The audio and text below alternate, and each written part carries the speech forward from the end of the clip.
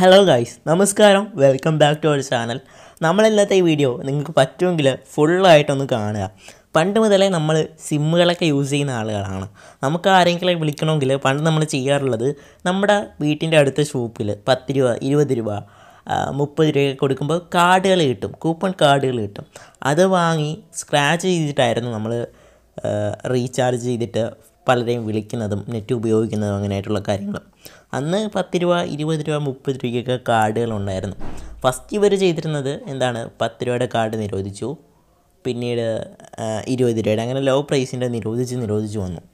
പിന്നീടാണ് ജിയോ വന്നത്. ജിയോ വന്ന് ഇന്റർനെറ്റ് ലോകത്ത് അല്ലെങ്കിൽ ഈ ഒരു മൊബൈൽ നെറ്റ്വർക്ക് ലോകത്ത് ഒരു മാറ്റം തന്നെ സൃഷ്ടിച്ചു. നൂറ് എം ബിയൊക്കെ ഉപയോഗിച്ചുകൊണ്ടിരുന്ന നമ്മൾ ഓരോ ജി ബി വീതം ഉപയോഗിക്കാൻ തുടങ്ങി. ജിയോ വന്നതോടുകൂടി പല വമ്പൻ കമ്പനികൾക്കും നഷ്ടമുണ്ടായി. അല്ലെങ്കിൽ അവർ നഷ്ടത്തിലായി ഇഷ്യൂസൊക്കെ വന്നു എന്ന് നമുക്ക് പറയാം. അതിലേക്ക് എന്തായാലും നമ്മൾ കടക്കുന്നില്ല. പിന്നീടാണ് ഈ ഓരോ ഓപ്പറേറ്റേഴ്സും ചേർന്നുകൊണ്ട് ഒരു നിയമം കൊണ്ടുവരുന്നത്. ഒരു മാസത്തിൽ നമ്മളൊരു സിം എടുത്തിട്ട് ഒരു മാസത്തിൽ ഇത്ര റുപ്പീസിന് റീചാർജ് ചെയ്തിരിക്കണം. എങ്കിലേ നമ്മുടെ സിം ആക്റ്റീവായി പ്രവർത്തിക്കൂ. അല്ലെങ്കിൽ ഇൻകമിങ് കോൾ ഡീആക്റ്റീവ് ആവും. അല്ലെങ്കിൽ സിം കട്ടാകും എന്നുള്ള നിയമങ്ങളൊക്കെ വരാൻ തുടങ്ങി. ശരിക്കും ആദ്യം ഇരുപത്തൊമ്പത് രൂപ അഫോർഡബിൾ ആയിട്ടുള്ള പ്രൈസ് ആയിരുന്നു. പക്ഷേ ഇന്ന് അത് എത്തി നിൽക്കുന്നത് തൊണ്ണൂറ്റൊമ്പത് രൂപയിലാണ്. ശരിക്കും ആർക്കാണ് ഇതിന്റെ നഷ്ടം? ആരെയാണ് ഇത് ബാധിക്കുന്നത്? എന്തുകൊണ്ടാണ് ആരും ഇതിനകത്ത് പ്രതികരിക്കാത്തത്? ഫസ്റ്റത്തെ ബേസിക് പ്ലാൻ ബേസിക് പ്ലാൻ നാൽപ്പത്തൊമ്പത് രൂപയായിരുന്നു. അത് ആരും അറിയാതെ പെട്ടെന്ന് അങ്ങ് എഴുപത്തൊമ്പതാക്കി. അതിപ്പോഴും പലർക്കും അറിയുകയില്ലായിരിക്കാം.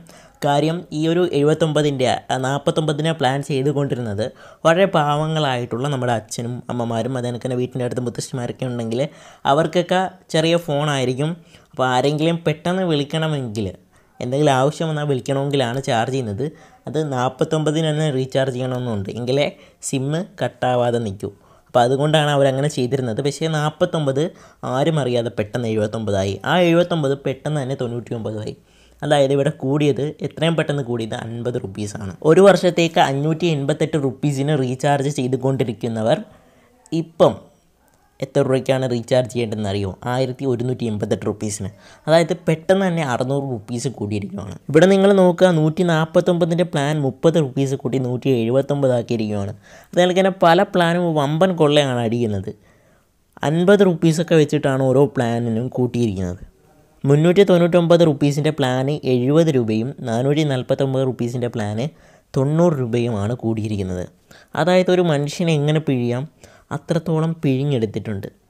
അടുത്തത് എയർടെലിന്റെ പ്ലാനുകളാണ്. എയർടെലിന്റെ പ്ലാനുകൾക്ക് നേരത്തെ പറഞ്ഞത് തന്നെയാണ്.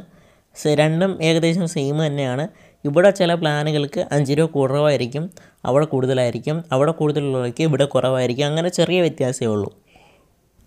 അടുത്തത് ജിയോ ആണ് ജിയോയിൽ നോക്കുകയാണെങ്കിൽ നൂറ്റി ഇരുപത്തൊമ്പതിന്റെ ഒരു സ്പെഷ്യൽ പ്ലാൻ ഉണ്ട്. അത് കണക്ക് തന്നെ വേറെ വ്യത്യാസമൊന്നുമില്ല. വേറെ ഇല്ല ഏകദേശം സെയിം തന്നെയാണ് ഒരു രൂപ അല്ലെങ്കിൽ രണ്ട് രൂപ വ്യത്യാസം മാത്രമേ ഉള്ളൂ പ്ലാനുകളിൽ മറ്റേ എയർടെൽ വി ഐ സംബന്ധിച്ച് നോക്കുവാണെങ്കിൽ ബാക്കിയെല്ലാം സെയിം തന്നെയാണ്. എന്റെ അഭിപ്രായത്തിൽ വി ഐ എയർടെൽ ജിയോ ഇവർ മൂന്ന് പേരും ചേർന്ന് കൊണ്ട് ഉള്ള ഒരു കളിയാണിത്.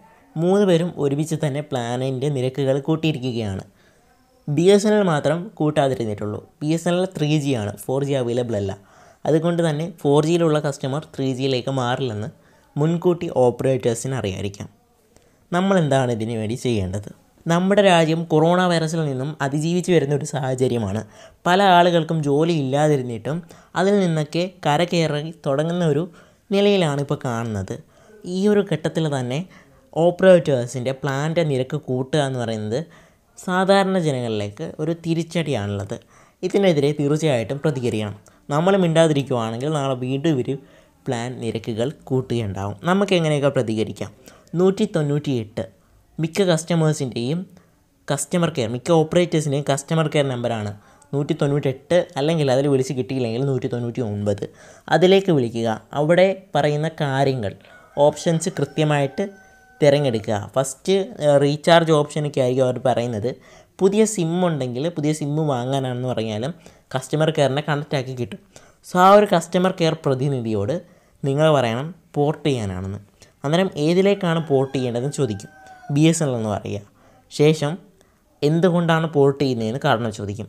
അന്നേരം കാരണം ചോദിക്കുമ്പോൾ നിങ്ങൾ ഫുള്ള് പ്രതികരിച്ചങ്ങ് പറയുക റേറ്റ് കൂട്ടിയോണ്ടാണെന്ന് തന്നെ പറയുക നല്ല രീതിയിൽ കാര്യങ്ങൾ പറഞ്ഞു കൊടുക്കുക. നിങ്ങളുടെ സിം ഒരിക്കലും പോർട്ടാകില്ല ഒരു മെസ്സേജ് അങ്ങോട്ട് സെൻഡ് ചെയ്യണം.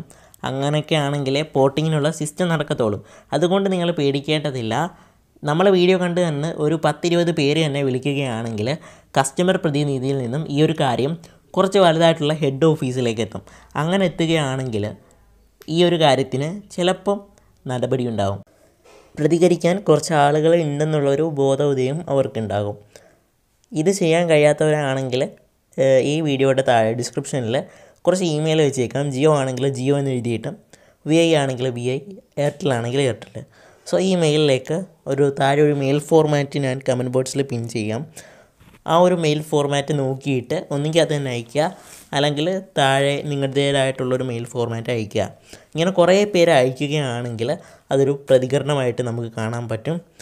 സോ ചിലപ്പം നടപടി ഉണ്ടാകും അല്ലെങ്കിൽ പ്രതികരിക്കാൻ കുറച്ച് ആളുകളുണ്ടെന്നുള്ളൊരു ബോധം അവർക്കുണ്ടാകും. സോ ഈ ഒരു ഐഡിയ പറ്റുന്നവരൊക്കെ സഹകരിക്കുക പറ്റുന്നവരൊക്കെ പല മെയിലിൽ നിന്ന് അയയ്ക്കുക പല ഫോണിൽ നിന്നും വിളിക്കുക. അപ്പോൾ ഇന്നത്തെ വീഡിയോ ഇത്രയേ ഉള്ളൂ. നിങ്ങൾക്ക് വീഡിയോ ഇഷ്ടപ്പെട്ടെങ്കിൽ ചാനലൊന്ന് സബ്സ്ക്രൈബ് ചെയ്യുക. അതുപോലെ തന്നെ ഈ വീഡിയോയ്ക്ക് അഭിപ്രായങ്ങൾ എങ്ങനെയാണെന്ന് അറിയില്ല. നല്ലതാണെങ്കിലും ചീത്തയാണെങ്കിലും നിങ്ങൾ താഴെ കമന്റ് ബോക്സിൽ നിങ്ങളുടെ അഭിപ്രായം എഴുതുക. പിന്നെ നിങ്ങളുടെ മറ്റു കൂട്ടുകാരിലേക്ക് കൂടി ഷെയറും കൂടി ചെയ്യുക. മാക്സിമം ഷെയർ ചെയ്യുക. ഈ ഒരു വീഡിയോ മറ്റുള്ളവരിലേക്ക് എത്തിക്കുക. സോ ഇന്നത്തേക്ക് ഇത്രയേ ഉള്ളൂ. Good bye